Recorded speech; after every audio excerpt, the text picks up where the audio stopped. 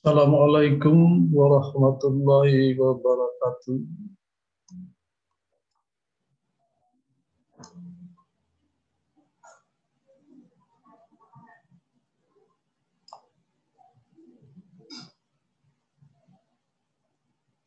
Eh, para peserta, adik-adik mahasiswa mata kuliah praktikum pemrograman berorientasi objek Hari ini kita akan memulai perkuliahan praktikum pemrograman berorientasi objek. Tentu praktikum ini kita tidak bisa laksanakan di laboratorium, tetapi kita akan melaksanakan di rumah masing-masing, di tempat tinggal kita masing-masing. Maka di sini akan dijelaskan beberapa perangkat yang kita bisa gunakan di dalam praktikum pemrograman berorientasi objek ini.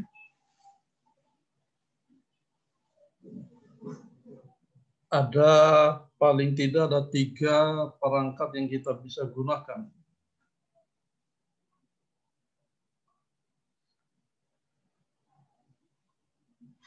Yaitu Eh, pertama, kita bisa menggunakan PC. Juga bisa menggunakan laptop. Juga bisa menggunakan Android atau smartphone atau yang sejenisnya. Jadi PC kita bisa gunakan nah, kalau ada di rumah silakan digunakan. Atau mungkin lagi ada di kantor silakan digunakan PC. Jika mahasiswa memiliki laptop juga bisa digunakan, bisa menggunakan laptop. Dan tentu saja mahasiswa memiliki yang namanya Android smartphone. Ya, jadi sekarang hampir tidak ada mahasiswa yang tidak memiliki smartphone. Maka itulah barang atau perangkat yang kita bisa bisa gunakan minimal dan termasuk uh, saya juga lebih cenderung menggunakan smartphone dibanding dengan laptop atau PC.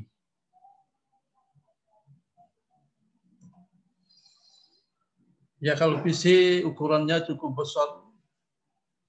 Jadi kita hanya bisa mungkin digunakan di kampus, di kantor atau di rumah.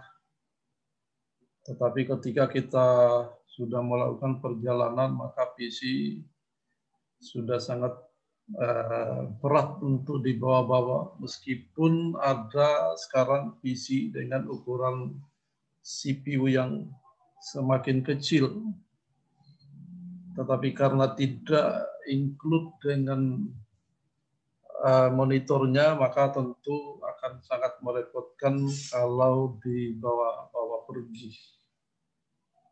Ya. Perangkat yang kedua yang kita bisa gunakan adalah laptop. Ini bisa kita gunakan di mana-mana, di mana saja juga kita bisa gunakan karena ukurannya yang cukup kecil. Ada laptop dengan berat yang hanya satu setengah kilogram atau bahkan ada yang satu kilogram. Jadi cukup bisa dibawa ke mana-mana. Jadi bisa digunakan di kampus, bisa di kantor, bisa di rumah, bisa di taman, bisa di atas kendaraan, dengan eh, kalau kita lihat kemampuannya yang hampir sama dengan PC. Ya. Kemudian perangkat yang ketiga yang kita bisa gunakan dan ini saya kira dimiliki oleh seluruh mahasiswa yaitu smartphone atau sekarang disebut dengan smartphone Android. Ya. Ini uh, ukurannya yang kecil bisa kita bawa di mana saja. Artinya kita bisa pakai di mana pun kita berada. Dan ini tentu uh, dibawa terus-menerus di mana pun kita pergi sehingga kita bisa mengikuti perkuliahan daring ini di mana pun kita berada, di mana pun mahasiswa berada dengan adanya smartphone bisa mengikuti kuliah, termasuk kuliah praktikum. Karena smartphone kita bisa gunakan untuk perangkat praktikum. Ya. Setelah kita memiliki perangkat-perangkat yang kita sebut dengan perangkat keras, kita harus juga membahas apa perangkat lunak yang dibutuhkan untuk masing-masing perangkat tersebut. Untuk PC, ya kita bisa mendapatkan eh, perangkat lunaknya di dengan cara mendownload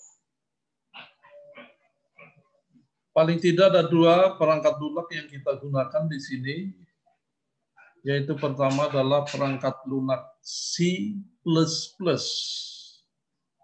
dan perangkat lunak Java. Keduanya disebut sebagai compiler dan Ahram mengenalnya sebagai bahasa pemrogram. Oh, ya. Jika kita download, kita bisa mendapatkan C++ Dev, Orlan C++, Microsoft Visual C++, dan lain-lain untuk C++. Untuk Java ada yang namanya BlueG, mungkin sekarang sudah jarang kita temukan. Ada G Creator, juga sudah mulai menghilang. Ada J Grisp, sudah cukup lama menghilang. Dan yang paling kita temukan saat ini adalah Java NetBeans, terutama untuk PC dan laptop. Ya, Java NetBeans. Ya, silakan di kom, di apa ini diinstalasi pada komputer jika mahasiswa menggunakan PC. Sama halnya juga kalau mahasiswa menggunakan laptop, itu sama dengan PC. Ya, karena posisi laptop sama dengan PC, cuman ukurannya yang lebih kecil, sehingga mudah dibawa ke mana-mana. Ya. Yang agak berbeda adalah kalau kita menggunakan smartphone.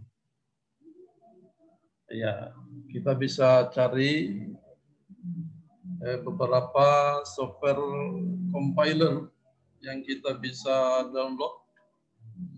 Ada yang disebut dengan CXX Droid. Ada yang disebut dengan C, C++ Programming Compiler, ada coding C++, ada C++ Compiler IDE.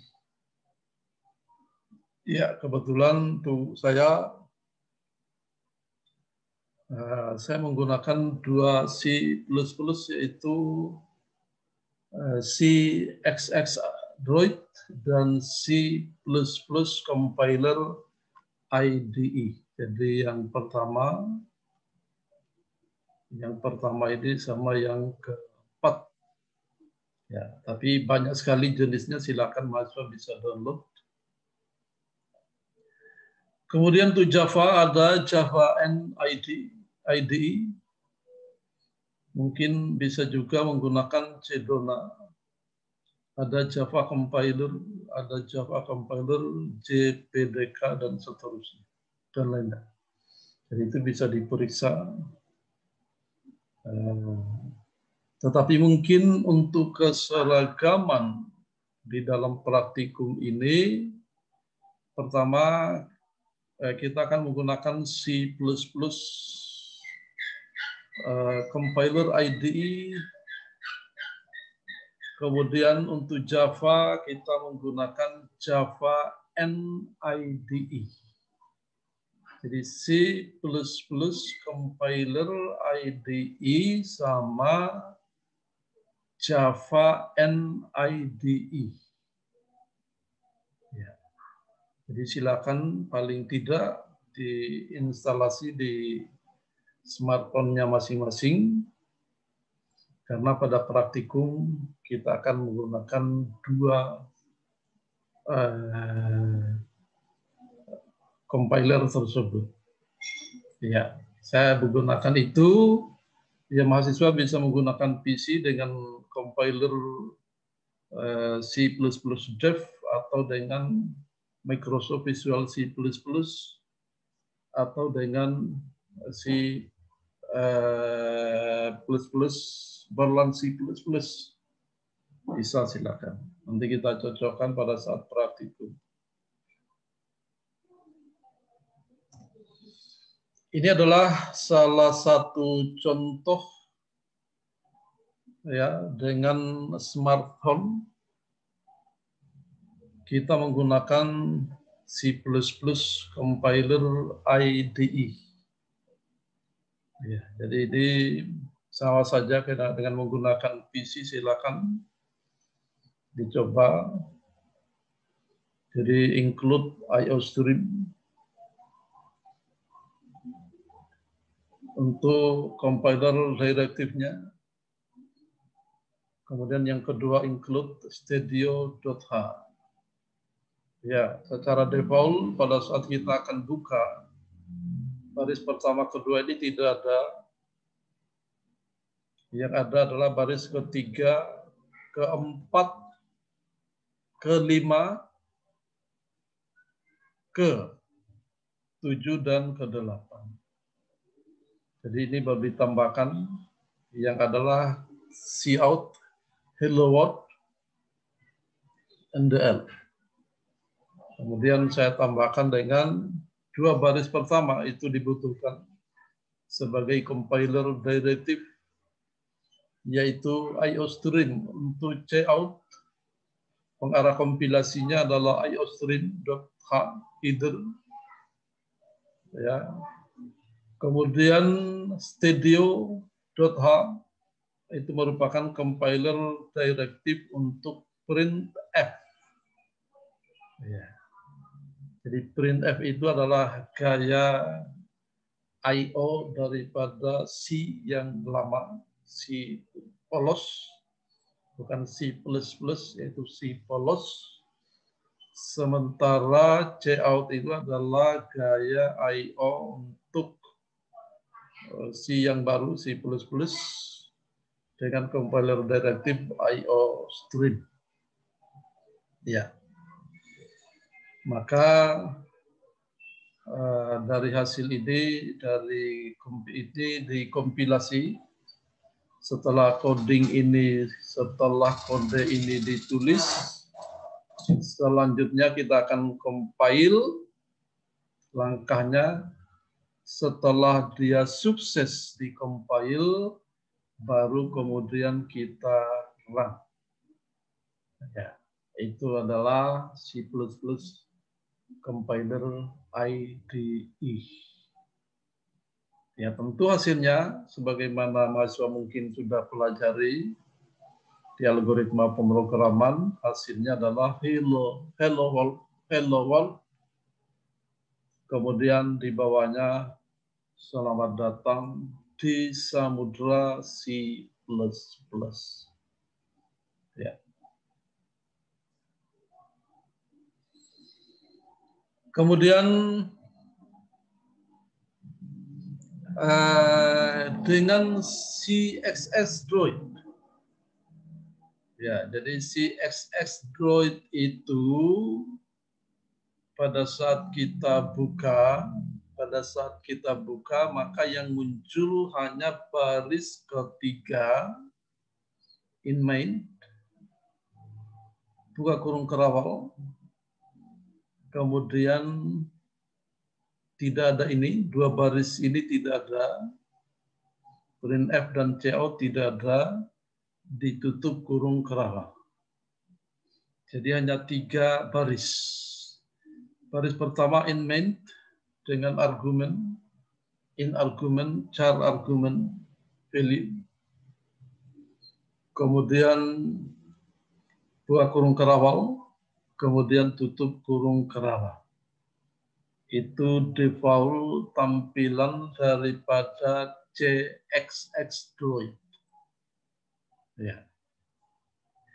Maka ketika saya tambahkan dengan print F, selamat datang di C, slash N, artinya ganti baris, maka di atasnya ya di atasnya harus include studio.h. Jadi harus include studio.h karena keyword atau kata kunci printf itu unjuk kerjanya didefinisikan pada file header studio.h. Kemudian ketika saya tambahkan C out selamat datang di samudra C++ NTL, artinya ganti baris.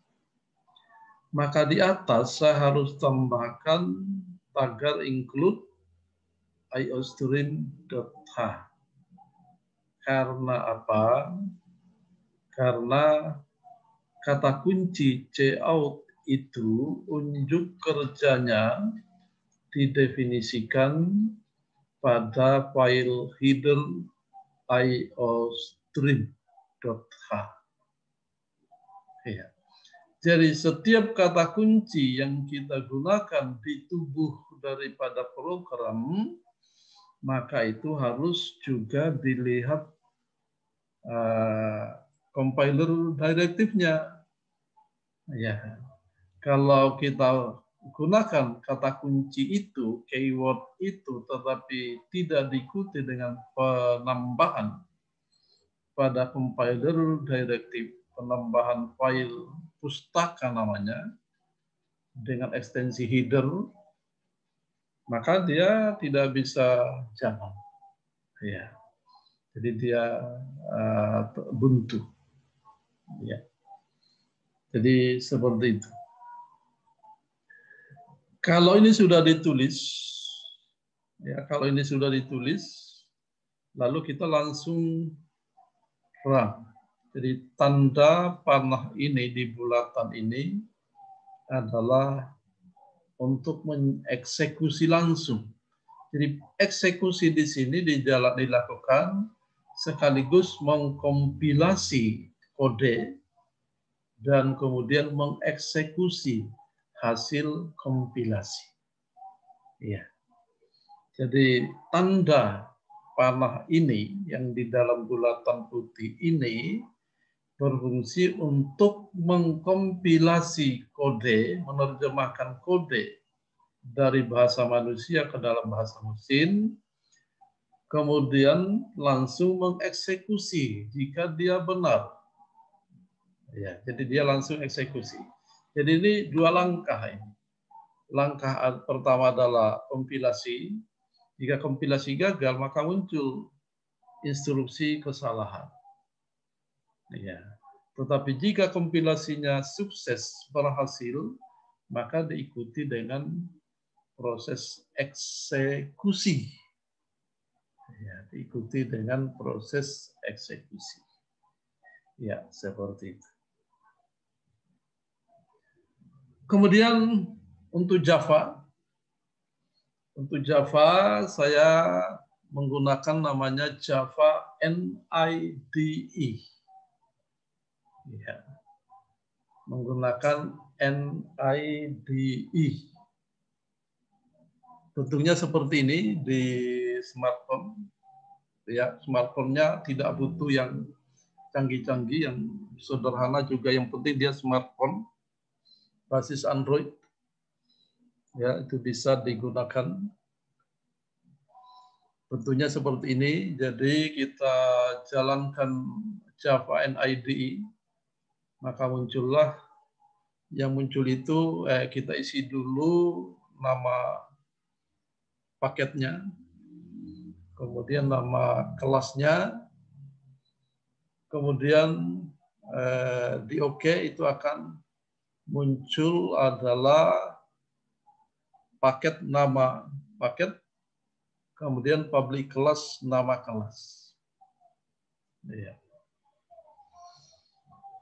Kemudian public static void main string args.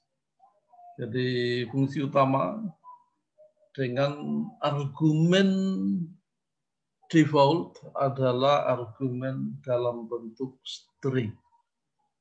Artinya bahwa apa pun informasi eh, apa pun data yang diterima oleh program ini Java ini maka akan dipandang sebagai string. Ya, dipandang sebagai string. Jika kita membutuhkan jenis yang lain daripada string, maka yang harus dilakukan adalah konversi. Ya. Jadi di sini dibutuhkan pengetahuan atau pelajaran materi untuk konversi. Isinya kosong. Ya, isinya kosong. Jadi publish tadi void main string out buka kurung karawal, tutup kurung karawal, tutup kurung karawal karena kurung karawalnya ada harus berpasangan. Ini pasangannya dengan ini, ini pasangannya dengan ini. Ya. Maka uh, setelah dia ditulis, maka langkah selanjutnya adalah mengkompilasi. Jadi ada tanda panah di sini. Ada apa ini uh, simbol logo pan, panah ya panah ke kanan itu adalah setelah diklik maka yang dilakukan adalah pertama adalah mengkompilasi. Seperti tadi juga di C eh, CXX Droid eh, C eh, IDE compiler IDE maka ini kalau diklik maka dia akan mengkompilasi kode menerjemahkan kode ke bahasa mesin. Jika penerjemahannya berhasil, kompilasinya berhasil, maka akan dilanjutkan dengan proses eksekusi. Ya, akan dilanjutkan dengan proses eksekusi. Maka akan keluar hasilnya. Hasilnya adalah selamat datang di Java Mobile ya nanti diperlihatkan hasilnya. Uh, ini tadi uh, lupa dimasukkan ya hasil eksekusinya. Jadi saya kira uh, silakan dicoba sambil uh, nanti dilaporkan percobaannya nanti dilaporkan pada uh, Google Classroom ya, dilaporkan pada Google Classroom sebagai eh, evaluasi harian untuk evaluasi harian daripada uh, tatap muka hari perkuliahan hari ini. Jadi saya kira cukup sekian uh, pertemuan perkenalan ini eh, insya Allah kita akan lanjutkan kembali praktikum pada minggu berikutnya. Wassalamualaikum warahmatullahi wabarakatuh.